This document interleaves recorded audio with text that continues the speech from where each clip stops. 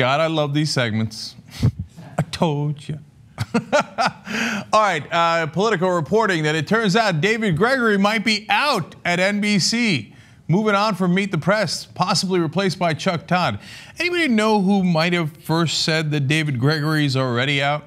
If somebody hired a psychological consultant to go talk to my wife, which was what they did, and to talk to my family and friends, like, is he okay? I would have issues with that. I would have significant issues with that. Besides which, dude, read the writing on the wall. You're a goner, okay? So let me explain why I say that. Because the people leaking these stories is NBC News. Na na na na na na na. Okay, and I don't celebrate this. I don't celebrate. I don't celebrate. Okay, I really don't. I haven't.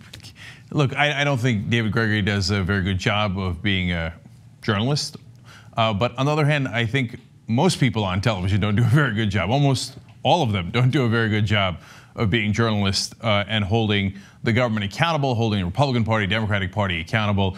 Uh, so uh, it's not surprising to see what happened to David Gregory. And of course, we weren't the first ones to report that he was having trouble. I was uh, at that point covering a story that had talked about how they had hired a psychological consultant for him and, and to talk to his family. Now, what, what was interesting about that is when we put that up, some people wrote articles online saying, hey, Cenk Uygur, who uh, was treated in a similar way at MSNBC, what I had was leaks about me coming from MSNBC and hence NBC overall uh, that were not really true. Uh, and that's when I knew, oh boy, they've already made the decision, right?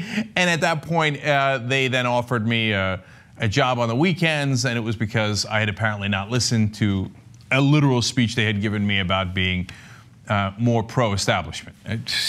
I couldn't believe the speech either. Anyway, so I said to David Gregory at the time, hey, listen, once they start leaking against you, you're a goner, as you just saw there.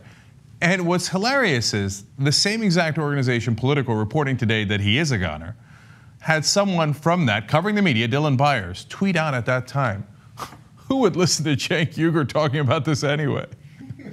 what would he know? Hey, Dylan, what is it that I know now?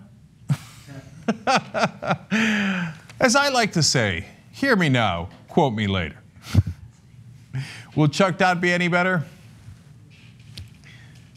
Well, look, let's have an open mind and let's see how Chuck does. And my counsel to you, if you'd like to go back into first place, and David Gregory took Meet the Press from first to third, is perhaps ask challenging questions that's both more interesting to the audience and the more proper role for the media, which is to be a watchdog of the government.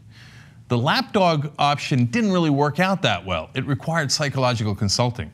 Okay, I'd go for the watchdog option and see how it goes.